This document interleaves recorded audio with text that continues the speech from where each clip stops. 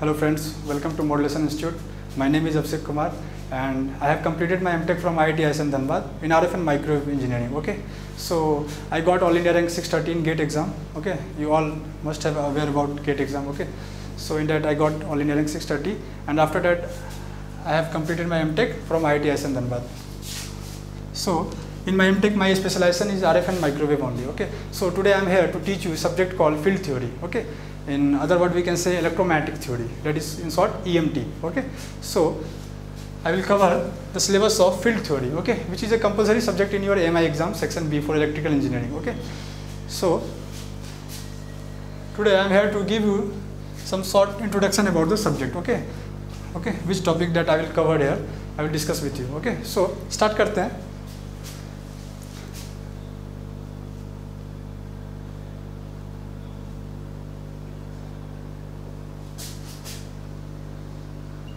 electromagnetic theory.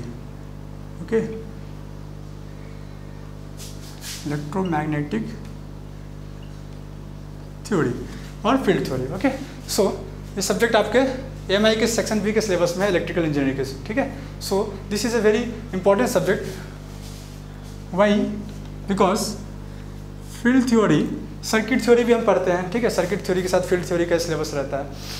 तो circuit theory तो generally इसी सब्जेक्ट में आता है मेनली क्योंकि उसमें हम किससे डिस्कस करते हैं? लम्ब सर्किट से, यानी आर एल सी आपको लगा रहता कनेक्ट रहते हैं, आपस में सर्किट के डिफरेंट डिफरेंट फॉर्म में सर्किट रहते हैं एसी या डीसी वोल्टेज सोर्स रहते हैं, आपको पावर करेंट वोल्टेज ये सब निकालना रहता है ना? या तो आप थ्योरम का यूज़ करते हैं थेवनिन सुपर पोजिशन थ्योरम और नॉटन्स थ्योरम या फिर आप पावर ट्रांसफ़र थ्योरम से पावर निकालते हैं ओके और एसी सर्किट रहते हैं, उसमें आपको आर एम एस वैल्यू निकालने पड़ते हैं उसमें आपको फिर रेजोनेंस टॉपिक रहता है। ये सब तो सिंपल है बट जो हम, एक जो सर्किट थ्योरी बोलते हैं that part that part is simple why as compare to this because जो ई एम एफ़ टी है this is word this is this is the tough subject why I am telling this is the tough subject because in this we are dealing with what space ठीक है? हम क्या करते हैं? ई M T क्या है एक तरह से? वायरलेस कम्युनिकेशन है, ठीक है? यानी कोई ट्रांसमीटर है और कोई रिसीवर है, ठीक है? तो हमारा जो वेव है जो भी इलेक्ट्रोमैटिक वेव्स होते हैं ओके जिसमें क्या होता है कुछ एनर्जी कंटेन करता हो ठीक है कोई इन्फॉर्मेशन उसमें कुछ एनर्जी है पावर है तो वो ट्रांसमिट होता है ट्रांसमीटर से रिसीवर की तरफ़ ठीक है? सो so, एक ट्रांसमीटर एक रिसीवर एंटीना है, ठीक है, यहाँ से यहाँ मेरा सिग्नल गया। सो ये सिग्नल कैसे गया, कैसे प्रोपागेट हुआ, किस डायरेक्शन में गया क्या क्या लॉसेस हुए, ये सब हम डिस्कस करते हैं इस सब्जेक्ट के अंदर, ठीक है? सो इसको टफ इसलिए कहते हैं क्योंकि इसमें काफ़ी आपको तो सबसे पहले वेक्टर कैलकुलस का भी यूज़ है मैथमेटिक्स का काफ़ी यूज़ है इस सब्जेक्ट में, ठीक है? जो काफ़ी डेरिवेशन जो आएँगे, उसमें आपको बहुत सारे मैथमेटिक्स के फॉर्म यूज़ होंगे स्पेशली वैक्टर कैलकुलस के, ठीक है? सो उससे आपको टच में रहना होगा, ठीक है? बेसिक आपका स्ट्रॉन्ग होना चाहिए। ठीक है, वो सब हम करेंगे डोंट वरी ठीक है, और बाद में जो हम इसके बाद इस, जैसे जैसे स्टेप हम आगे बढ़ते जाएँगे टफ होता जाएगा टॉपिक ओके स्टार्ट करेंगे, जैसे हम इलेक्ट्रिक फ़ील्ड मैग्नेटिक फ़ील्ड क्या है, उस तरह से। भी मैं बताता हूँ आपको हम किस तरह से, किस सीक्वेंस में कवर करेंगे, ठीक है? सो अगर बोला जाए तो this is the toughest subject of electronics engineering also okay because mostly बच्चे क्या करते हैं, या तो इस सब्जेक्ट को रट के चले जाते हैं, क्योंकि समझ में इजीली आता नहीं है, ठीक है? रट के चले जाते हैं और फिर आप समझते हैं अगर क्वेश्चन थोड़ा वेरी कर गया या थोड़ा लेवल अप कर दिया तो दिक्कत हो जाता है। ठीक है? सो इससे आपको डरने की ज़रूरत नहीं है। टफ है, मैं बोल रहा हूँ कि टफ है बट मेरे पास उस लेवल का कंटेंट है, ठीक है? जो कि आपको, आप किसी भी इंस्टीट्यूट के सर्च कर लीजिए वेबसाइट पे या कोई भी आपको वहाँ के जो जीरोक्स कॉपी फ़ोटो कॉपी होते हैं नोट्स के, कहीं से भी कुछ भी उठा लीजिए, कहीं से मैच नहीं करेगा। ओके बिकॉज़ ये लेवल इनका जो लेवल है जो अभी मैं आपको पढ़ाऊँगा ये अदर इंस्टीट्यूट या अदर जो जो नोट्स होंगे इस सब्जेक्ट से रिलेटेड उनसे हंड्रेड टाइम्स बेटर है। मैंने क्या कहा? हंड्रेड टाइम्स बेटर इसके पीछे भी लॉजिक है। सो so, क्योंकि इस सब्जेक्ट को मैंने कम से कम एम टेक में बी टेक में तो पढ़ाई है मैंने ठीक है? एम टेक में भी दो साल दिए ठीक है? स्पेशलाइजेशन ही मेरा आर एफ़ एंड माइक्रोवेव था। So advance E M T भी पढ़ा है मैंने okay advance E M T ये तो इसकी फ़ील्ड थ्योरी है। एडवांस फ़ील्ड थ्योरी पढ़ा जो कि इसका एडवांस वर्जन है ठीक है? सो उसके कंपेरिजन में ये तो आसान है बट ये आपको इजी तब लगेगा जब आप कॉन्सेप्चुअली चलेंगे, ठीक है? इसमें आप कुछ रटने का है नहीं, ठीक है? फॉर्मूले रट के आप चाहिएगा कि एग्ज़ाम में कर जाए तो that is not the case है ठीक है? अदर जो सब्जेक्ट हैं आपके, ठीक है? वो in comparison to this they are easy okay so मैं इनको ईजी क्यों बोल रहा हूँ? इसके कंपेरिजन में बाकी सब्जेक्ट को ईजी क्यों बोल रहा हूँ? अभी देख लेंगे। ठीक है? और इसमें क्या होता है? जो हमारा वेव है, वो क्या स्पेस में है? स्पेस में इस what this this is room is what space wave हमारा, मान लीजिए, इस थ्री में है। ओके तो वेव स्पेस में है तो इसको हमको स्टडी करना है। इसका क्या पोलराइजेशन है, मीन्स किस डायरेक्शन में जा रहा है, कितना पावर है, ये सब चीज़ कैलकुलेट करना तो ये थोड़ा टफ हो जाता है ना? कोई भी चीज़ आपको थ्री में आ गया नहीं, आपको इमेजिनेशन पावर स्ट्रांग होना चाहिए। है ना? आपको मैं बोल रहा हूँ कि ये है ये परपेंडिकुलर एक्सिस है ये एक्सिस है वेव मेरा ऐसे जा रहा है स्पेस में तो आपको ये टफ लगेगा ठीक है? इमेजिन करने में थोड़ा टफ लगता है बट अगर आप एक सीक्वेंस में चलिएगा एक प्रॉपर सीक्वेंस में एक कॉन्सेप्ट के साथ लॉजिकली अगर हम चलते जाएँगे तो ये आपको सबसे ईजी सब्जेक्ट मैं बना दूँगा इसका गारंटी है मेरे पास ठीक है?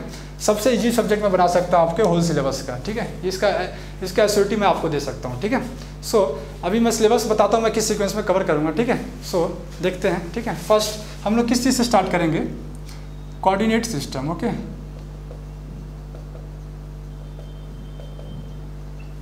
first EMT पढ़ने से पहले हम कोऑर्डिनेट सिस्टम के बारे में जानेंगे, ठीक है? कोऑर्डिनेट सिस्टम हम लोग इलेवंथ फिजिक्स में सॉरी मैथ में पढ़ते हैं इलेवंथ क्लास के, है ना? उसमें सर्कल इलिप्स सब कुछ कवर करते हैं हाइपर बोला पैरा बोला लाइन ऑल थिंग्स हम काफ़ी डिटेल में पढ़ते हैं। बट यहाँ जो कोऑर्डिनेट सिस्टम हम पढ़ेंगे, जो हमारी सिलेबस के अकॉर्डिंग जो इम्पोर्टेंट है that is Cartesian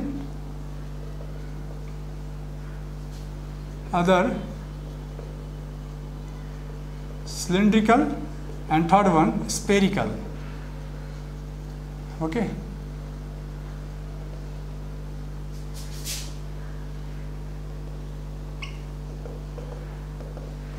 ठीक है? सो हम स्टार्ट करेंगे कोऑर्डिनेट सिस्टम से, ठीक है? फ़ील्ड थ्योरी में कोऑर्डिनेट सिस्टम से क्यों स्टार्ट कर रहे हैं? क्योंकि आप देखिएगा, जो इलेक्ट्रिक फ़ील्ड और मैग्नेटिक फ़ील्ड क्या they are vector quantities okay so ये स्पेस में किसी पर्टिकुलर डायरेक्शन में होंगे, वहाँ पे पावर किसी और डायरेक्शन में होगा। हाँ वहाँ पे फिर हमको पावर निकालना होगा किसी एक सर्फेस के थ्रू किसी एक वॉल्यूम के थ्रू जो पावर एलिमिनेट हो रहा होगा। हाँ तो इस कारण इसलिए क्या होगा? ये सब इंपॉर्टेंट आपको जाना। है स्पेरिकल को आप जब एंटीना पढ़िएगा एंटीना आपके सिलेबस में नहीं है बट इन फ्यूचर जब हम नेक्स्ट क्लास कभी एंटीना का करेंगे तो उसमें इस सब का यूज़ है, ठीक है? सो ये कार्ड ये इस आपको पूरे ईएमटी में दिखेगा, ठीक है? Okay surface vector okay differential line vector unit vector पूरे ईएमटी में आपको यूनिट वेक्टर दिखेंगे, है ना? यूनिट वेक्टर क्या होते हैं, ठीक है? ये सब चीज़ आपको जानना है डॉट प्रोडक्ट क्रॉस प्रोडक्ट ये सब भी इंपॉर्टेंट है बिकॉज़ पूरा ईएमटी में क्या हम इलेक्ट्रोमैटिक वेव्स पर ऊपर डिस्कस करते हैं ना? We are discussing about electromagnetic waves that contains what electric field and magnetic field and both are what vector quantity है ना? सब उनके पास मैग्नीट्यूड है और डायरेक्शन है। इसलिए आपको ये कोऑर्डिनेट सिस्टम जानना मस्ट है। देन ओनली आपको इजी लगेगा, ठीक है? सो हम स्टार्ट कोऑर्डिनेट सिस्टम से ही करेंगे। Will start with Cartesian then cylindrical after that spherical coordinate system okay so coordinate system complete करने के बाद हम बेसिक पे आ जाएँगे, ठीक है? देखिए एक्चुअली में क्या है? ई एम टी में आपको इलेक्ट्रोस्टैटिक भी है मैग्नेटोस्टैटिक भी है, ठीक है?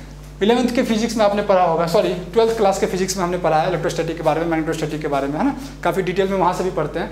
बट वो चीज़ इसमें ज़्यादा सिलेबस में नहीं है है ना? What is charge what is field ये चीज़ हमको जानना है but in not much detail because हमारे यहाँ मेन फोकस कहाँ पर रहेगा?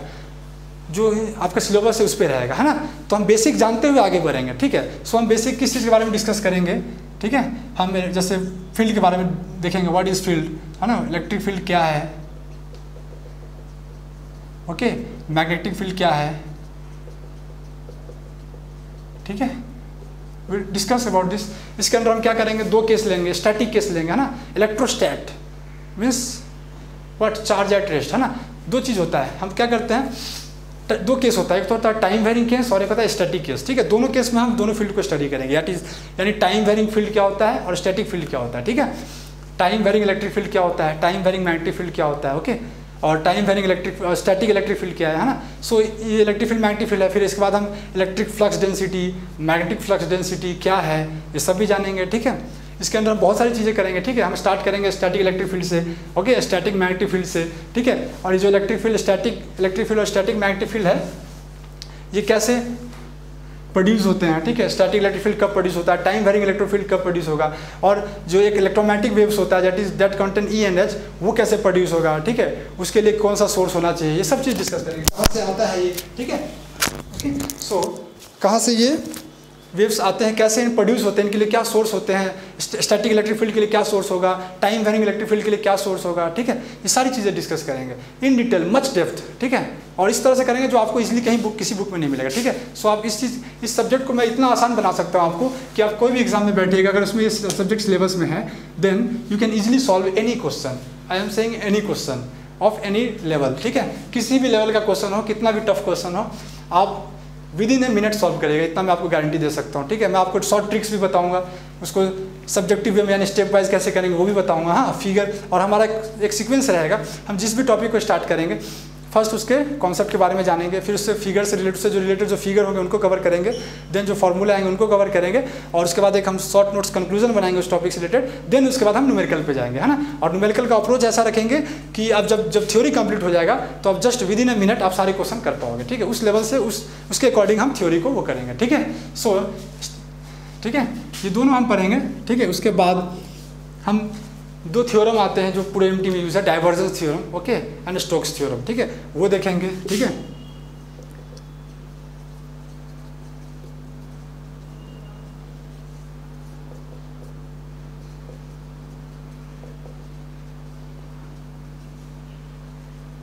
Stokes theorem and divergence theorem ठीक है? सो मैं भी इसके अंदर भी बहुत सारी चीज़ें लिख सकता हूँ बट अभी उतना डिटेल में जाने की ज़रूरत नहीं है। इसको काफ़ी डेप्थ में हम डिस्कस करेंगे ऑलरेडी ठीक है? सो so, उसके बाद हम इसके बाद हम क्या करेंगे?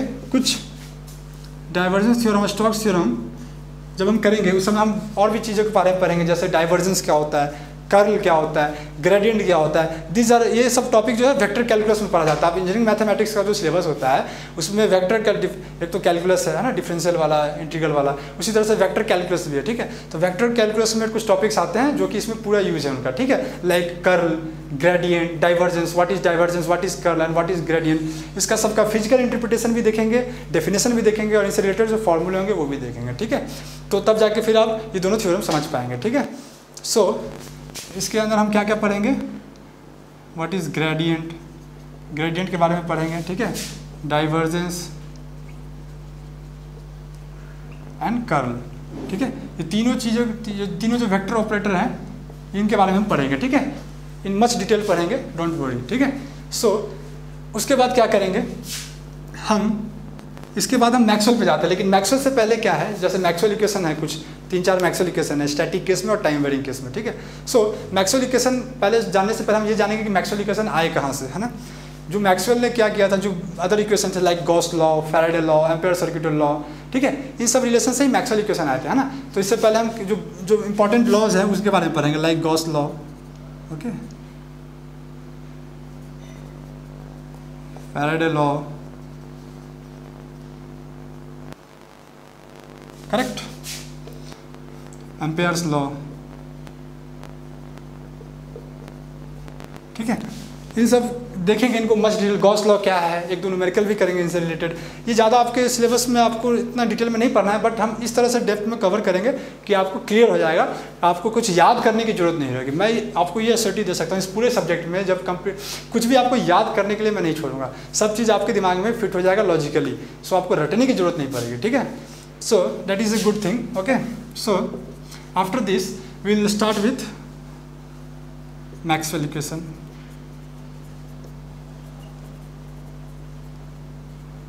Okay maxwell equation so Maxwell equation is a very important topic okay पूरा ई e ही मैक्सवेल पे बेस्ड है, ठीक है? अगर आपने मैक्सवेल इक्वेशन समझ लिया तो आप इलेक्ट्रोमैग्नेटिक थ्योरी यानी जो फ़ील्ड थ्योरी हमारा सब्जेक्ट है, इसके किसी भी पार्ट को इजीली समझ जाइएगा, ठीक है? इसकी गारंटी मैं लेता हूँ। और ये इतना इंपॉर्टेंट है कि आप जब इलेक्ट्रोमैग्नेटिक वेव्स चाहे कोई भी टॉपिक पढ़िएगा उसमें इसका हंड्रेड परसेंट यूज़ है। आप कोई भी टॉपिक इसमें पढ़ रहे होंगे, इसका यूज़ आना ही है, ठीक है? सो इसको काफ़ी डेप्थ में पढ़ेंगे हम। इसके भी बहुत सारे फॉर्म पढ़ेंगे फेजर फॉर्म में देखेंगे ठीक है डिफरेंशियल फॉर्म में देखेंगे इंट्रीगल फॉर्म में देखेंगे, सारे फॉर्म डिस्कस करेंगे डोंट वरी ठीक है? उसके बाद हम मैक्सवेल इक्वेशन से ही बाउंड्री कंडीशंस डिराइव करेंगे, ठीक है?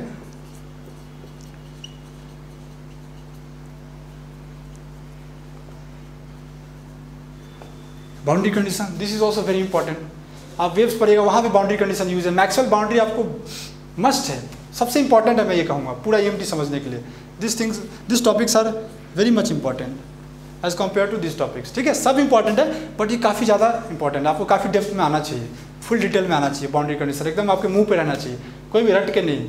कैसे आया? बाउंड्री कंडीशन कैसे आए? किस केस में क्या होगा? डिफरेंट डिफरेंट मीडियम में क्या होगा? जैसे बाउंड्री कंडीशन में हम क्या करते हैं? जैसे वेव जब हमारा एक मीडियम से दूसरे मीडियम जाता है तो किस तरह से उसका सॉरी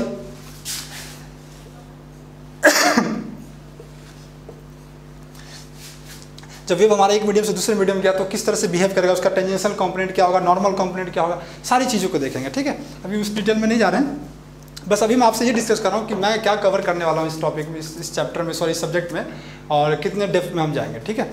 सो बाउंड्री कंडीशन हम करेंगे चाहे वो इलेक्ट्रिक फ़ील्ड के टर्म हो मैग्नेटिक फ़ील्ड का हो फ्लक्स डेंसिटी हो इलेक्ट्रिक फ्लक्स डेंसिटी हो या मैग्नेटिक फ्लक्स डेंसिटी डेंसिटी हो it means B D E H okay इस तरह से हम डिस्कस करेंगे बाउंड्री कंडीशन फिर फिर हम क्या करेंगे? पावर के बारे में डिस्कस करेंगे। Poynting vector Poynting theorem okay that is also important topic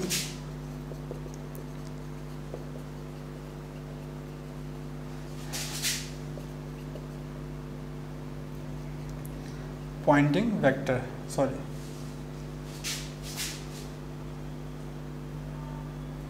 Poynting theorem ले लीजिए, ठीक है? इसी के अंदर हम देखेंगे। आगे डिटेल में भी बताने की ज़रूरत नहीं है बिकॉज़ अभी हम जस्ट टॉपिक डिस्कस कर रहे हैं, ठीक है ना? So what is Poynting theorem ये देखेंगे। पॉइंटिंग थ्योरम से क्या पता चलता है? ठीक है? पॉइंटिंग थ्योरम क्या बताता है? डायरेक्शन भी देता है या और बताता है? जैसे कोई क्लोज लूप है उससे कुछ पावर मान लीजिए एलिमिनेट करा कि क्लोज लूप है। सॉरी एक क्लोज सरफेस है तो क्लोज सरफेस क्या वॉल्यूम बनाएगा? उससे मान लीजिए कुछ फ़ील्ड निकल रहा है। ओके इससे कुछ पावर जब निकलेगा तो उसी अमाउंट में जो उसके अंदर जो एनर्जी स्टोर्ड होगी, यानी जो इलेक्ट्रिक फ़ील्ड और मैग्नेटिक फ़ील्ड के टर्म में जो एनर्जी स्टोर्ड होगा, वो भी डीके करेगा। इस तरह से बताता है, काफ़ी डिटेल में जाएँगे। ओके डोंट वरी रिलैक्स आप कोई भी टॉपिक उठा लीजिएगा, आप देखिएगा कि इस तरह के डेप्थ में जाएँगे कि आप क्वेश्चन तो छोड़िए क्वेश्चन तो बनना ही है विद इन ए मिनट सारे कॉन्सेप्ट आपके क्लियर होंगे। मैं इसका एसोटी लेता हूँ हंड्रेड परसेंट और जो मैं कंटेंट इसको आपको पॉइंटिंग थोड़ा चाहिए, किसी टॉपिक में दूँगा, वो आपको कहीं नहीं मिलेगा, इसके लिए भी मैं एसोटी दे सकता हूँ, ठीक है? सो आफ्टर पॉइंटिंग थ्योरम हम जाएँगे स्टार्ट करेंगे electromagnetic waves okay electromagnetic waves पढ़ेंगे हम, ठीक है? That is the lengthy topic okay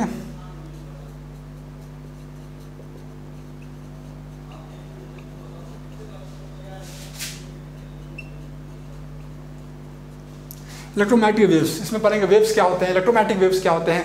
uniform plane wave क्या होते हैं? सारी चीज़ें डिस्कस करेंगे। जब ये वेव हमारा किसी मीडियम में ट्रेवल करता है सपोज़ करिए डायलेक्ट्रिक मीडियम है कंडक्टिव मीडियम है ओके नॉन आइडियल डायलेक्ट्रिक है लॉसी डायलेक्ट्रिक सब कुछ देखेंगे, सब कुछ, जितना पॉसिबल है। वेव के बारे में जानेंगे, किस तरह से ट्रैवल करता है, कैसे प्रोपोगेट करता है पावर क्या होता है, उसका इंपोर्टेंस क्या होता है कंडक्टर में कैसे फ्लो करेगा डायलेक्ट्रिक में वेव कैसे फ्लो करेगा, सारी चीज़। जैसे मान लीजिए अलग अलग मीडियम है, कोई मीडियम कंडक्टिंग मीडियम है, यानी कहाँ कंडक्टिविटी प्रेजेंट है, उसमें मेरा वेव कैसे फ्लो करेगा फ्री स्पेस में कैसे फ्लो करेगा, कोई डायलेक्ट्रिक मीडियम उसमें कैसे फ्लो करेगा। और जो डायलेक्ट्रिक फ्री स्पेस से कर रहा हूँ, इनके बारे में पढ़ेंगे डायलेक्ट्रिक क्या होता है? जैसे हम अब इलेक्ट्रिक फ़ील्ड सब करेंगे कंडक्टर के बारे में पढ़ेंगे कंडक्टर क्या है डायलेक्ट्रिक क्या है, ठीक है, सारी चीज़ें आपसे डिस्कस करूँगा। क्या होता है डायलेक्ट्रिक मीडियम क्या है डायलेक्ट्रिक है क्या? ठीक है?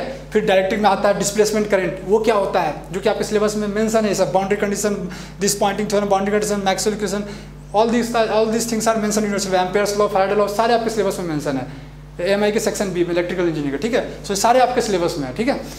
तो ये सब तो डिस्कस करेंगे। इसके अंदर बहुत बड़ा सिलेबस फिर इलेक्ट्रोमेटिक वेव्स में हम क्या करेंगे? पढ़ेंगे homogeneous medium non homogeneous medium है ना? वेव जब हमारा होमोजीनियस मीडियम में है नॉन होमोजीनियस यानी मान लीजिए एक मीडियम से दूसरे वेव में वेव गया तो वो कैसे जाएगा? या तो नॉर्मल नॉर्मली इंसिडेंट करके गया, या किसी एंगल पे इंसिडेंट करके गया। उसमें एक, दो टॉपिक आते हैं नॉर्मल इंसिडेंस ओब्लिक इंसिडेंस जो कि बच्चे छोड़ के ही जाते हैं। बिकॉज़ आप कोई भी बुक उठा लीजिए, कहीं भी कोई लेक्चर उठा लीजिए, कहीं आपको उसका सोल्यूशन नहीं मिलेगा। क्योंकि ये टॉपिक क्लियर ही नहीं है ज़्यादा से लोगों का, ठीक है? तो सब लोग डर जाते हैं, सब लोग छोड़ देते हैं। जो कि मैं आपको इतने डेप्थ में बताऊँगा कि आप अपनी उंगली पे पूरे ई को नचाओगे, ठीक है? मैं आपको एस दे रहा हूँ, ठीक है? तो इसके अंदर बहुत सारे टॉपिक है, वहाँ अभी मैं लिख नहीं रहा हूँ क्योंकि अभी जस्ट हम मेन जो हेडलाइन है, जो हेड है टॉपिक का मतलब जो टाइटल है वो यूज़ कर रहे हैं, ठीक है? इसके अंदर कितने डेप्थ में जाएँगे वो बाद में देखेंगे, ठीक है? सो इलेक्ट्रोमैटिक वेव्स करेंगे, इसी के अंदर ओब्लिक इंसिडेंस नॉर्मल इंसिडेंस ठीक है? टाइप ऑफ़ पोलराइजेशन पढ़ेंगे, ठीक है? पोलराइजेशन इसके अंदर देखेंगे, है ना? वट इज़ पोलराइजेशन इस पर भी क्वेश्चन आते हैं, ठीक है? मस्ट है परपेंडिकुलर पोलराइजेशन पैरल पोलराइजेशन क्या होता है? तो ये सारी चीज़ें हम डिस्कस करने वाले ठीक है? मैंने तो अभी बस अभी एक जस्ट वर्ड में सिंगल सिंगल वर्ड में लिखा है ठीक है? इसको अगर मैं अभी और एक्सप्लोर करने जाऊँ इन डिटेल तो एक पूरा बोर्ड भर जाएगा ठीक है? मीन्स अगर मैं बाउंड्री कंडीशन के अंदर कितने टाइप्स डिस्कस करूँगा इलेक्ट्रोमेटिक वेव्स में और जो कितने पॉसिबल है वो सब मैं अभी नहीं लिख रहा हूँ बिकॉज़ मेरा अभी मेन मोटो क्या है कि आपको ये बता दूँ ओवरव्यू दे दूँ मैं ठीक है? कि मैं क्या चीज़ पढ़ाऊँगा और किस सिक्वेंस में चलूँगा ठीक है? सो so, ये आपके यहाँ तक सिलेबस में एम आई सेक्शन बी के सिलेबस में ठीक है? और आगे जो अगर कोई आप अदर एग्ज़ाम देना चाहते हैं लाइक गेट आई उसके लिए भी आपके लिए अलग से वीडियो आएगा, वो हम प्रोवाइड करेंगे। उसके लिए हम अलग से पढ़ाएँगे, ठीक है? उसमें antenna wave guide transmission line all this extra things will be covered so up to this this is in your I section B syllabus ठीक है? सो अगर आप इस टॉपिक के साथ थोड़ा हो जाते हैं तो आपको एग्ज़ाम में अगर फिफ्टी मार्क्स का आ रहा है तो फिफ्टी में फिफ्टी आएगा, इसका गारंटी मैं लेता हूँ। फिफ्टी में फिफ्टी हर एक बच्चे का। जो भी अगर मेरे इस लेक्चर को अगर आप देखते हैं, ठीक है? तो आपको एक मार्क्स भी नहीं कटेगा इसका गारंटी मैं लेता हूँ चाहे कैसा भी क्वेश्चन है रिपीटेड आए नहीं आए कि, कितना भी टफ लेवल कर दें मैं गारंटी देता हूँ कि आप इजीली सॉल्व कर सकते हैं। ठीक है? इस सब्जेक्ट के लिए मैंने काफ़ी कम से कम 10 से ज़्यादा बुक फॉलो किए हैं 10 से 15 बुक बैलानिस हो गया हयात हो गया सर्डिक्यू तो बहुत छोटा बुक है जो नॉर्मली लोग मार्केट में देखते हैं उसका कोई लेवल नहीं है। उससे बहुत बड़े बड़े लेवल के बुक हैं ठीक है? जेडी क्रॉस हो गया। बहुत सारी बुक हैं। बैलानिस काफ़ी सबसे स्टैंडर्ड बुक माना जाता है विली पब्लिकेशन आप देखते होंगे, कोई भी अगर इंजीनियरिंग का सब्जेक्ट है तो विली पब्लिकेशन का जो ऑथर होते हैं, काफ़ी मतलब अच्छे कॉलेज लाइक एम ये सब के रहते हैं, ठीक है? सो मेरे हिसाब से बेस्ट पब्लिकेशन है और सबसे स्टैंडर्ड लेवल का उनका बुक्स रहता है, ठीक है? सो वो सब मैंने फॉलो किए हैं, ठीक है? और आईआईटी में मेरा ये सब्जेक्ट था। मेरे जो मेरे जो प्रोफेसर थे, उन्होंने काफ़ी कुछ उनसे भी सीखने को मिला, लेकिन उससे पहले भी इस सब्जेक्ट से मैं काफ़ी फेमिलियर रह चुका हूँ, ठीक है? सो इस सब्जेक्ट में मेरे पास आपको देने के लिए अदर कोई भी आपके पास कहीं से भी कंटेंट आता होगा, उससे हंड्रेड टाइम्स बेटर कंटेंट आपको यहाँ मिलेगा। इसका मैं एसोरिटी लेता हूँ, ठीक है? हम काफ़ी डेप्थ में जाएँगे। एक एक चीज़ को डेप्थ में जाएँगे। जो electric field static time varying कैसे आ रहा है, सब कुछ देखेंगे। टाइम वेरिंग सोर्स देखेंगे। इलेक्ट्रोमेटिक वेव सबसे ज़्यादा टाइम लेगा, क्योंकि this is the what very this is having very vast topics okay normal incidence oblique incidence फिर उसके अंदर बहुत सारे केसेस आएँगे। सो so, वो काफ़ी वास्ट हो जाएगा काफ़ी बड़ा है ये ठीक है? सो इस सीक्वेंस में हम चलेंगे और पूरी एमटी को कवर करेंगे। सो so, ये आपके सिलेबस में है ठीक है? और लैप्लासियन इक्वेशन ठीक है? ये सब भी आपके सिलेबस में सब इसके अंदर आएगा ठीक है? तो हम देखेंगे जो कि आपके सिलेबस में मेंशन है ऑलरेडी सो डायलेक्ट्रिक क्या है? मैंने सब जितना भी बताया इसी चीज़ में जाने में पहले कोऑर्डिनेट सिस्टम से स्टार्ट करेंगे ठीक है? उसके बाद फ़ील्ड के बारे में जानेंगे इलेक्ट्रिक फ़ील्ड क्या है मैग्नेटिक फ़ील्ड क्या है इलेक्ट्रिक फ्लक्स डेंसिटी क्या है मैग्नेटिक फ्लक्स डेंसिटी क्या है ओके फिर हम ग्रेडियंट कर्ल डाइवर्जेंस जो ये ऑपरेटर है वैक्टर इनके बारे में जानेंगे, ठीक है? इनसे रिलेटेड जो थ्योरम है, उनको पढ़ेंगे, ठीक है? इस थ्योरम का यूज़ करके हम कन्वर्जन करेंगे, आगे बहुत सारी चीज़ों में रिलेट करेंगे। फिर उसके बाद हम Gauss law Faraday law Ampere's law ये सब जानेंगे, कैसे आएँगे फॉर्मूले क्या है, इनका डेरिवेशन क्या है, ठीक है? फिर इसमें एम्पेयर्स लॉ में कोई कौन सा एक्स्ट्रा चीज़, जैसे डिस्प्लेसमेंट करंट जानने को मिलेगा, वो सब देखेंगे, क्या होता है, वो आपके सिलेबस में मैंसन है स्पेशली और फिर उसके बाद हम मैक्सोल इक्वेशन पे आएँगे, है ना? जो मैक्सोल इक्वेशन इन सब इक्वेशन से ही क्या हुआ? डिराइव हुआ है। सो मैक्सोल इक्वेशन देखेंगे डिफरेंट फॉर्म में इंटीग्रल फॉर्म पॉइंट फॉर्म और what phasor form time phasor form ठीक है? सब फॉर्म में देखेंगे। बाउंड्री कंडीशंस देखेंगे, बहुत डिटेल में देखेंगे। कोई भी क्वेश्चन आए, आप विद इन सेकंड करोगे विद इन मिनट करोगे, मैं गारंटी लेता हूँ। ठीक है? फिर पॉइंटिंग थ्योरम देखेंगे electromagnetic waves this is the longest part electromagnetic waves ठीक है? इसमें यूनिफॉर्म प्लेन के बारे में पढ़ेंगे, ठीक है? डिफरेंट मीडियम को लेंगे कंडक्टर में कैसे वेव जाएगा डायरेक्टिव में कैसे जाएगा, ठीक है? लॉसी डायट्री में वेव कैसे फ्लो होगा? ठीक है क्या क्या क्राइटेरिया होंगे?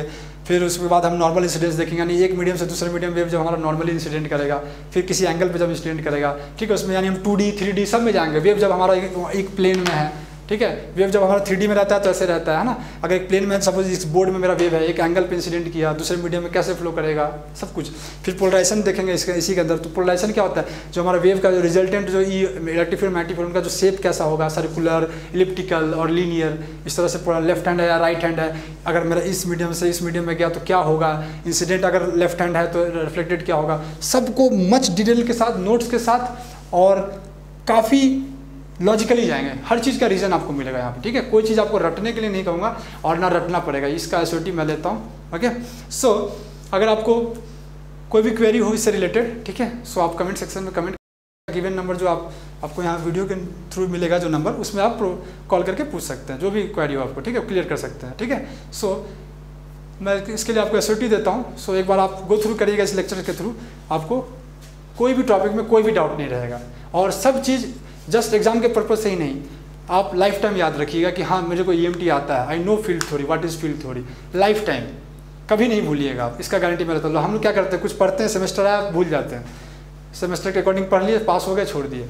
लेकिन ये ऐसे इस डिटेल में हम जाएँगे विद इन लेस टाइम हम इस डिटेल में जाएँगे कि आपको कोई चीज़ कभी याद नहीं करना होगा लाइफ टाइम याद रहेगा. इसका गारंटी मैं लेता हूँ. ठीक है? So this are the topics that we will cover in this sequence only okay so this is all about your M I second section B syllabus okay electronic engineering में जो सिलेबस है M I am आई के section B में क्या है? Field theory circuit theory भी साथ में और ये फ़ील्ड थ्योरी है। तो फ़ील्ड थ्योरी पार्ट में कवर करने जाऊँगा आपके साथ ठीक है? सो so, सारा सिलेबस हम कवर करेंगे ठीक है? सो so, फिर उससे रिलेटेड न्यूमेरिकल्स नोट्स सारे कंक्लूजन सब कुछ लिखेंगे ठीक है?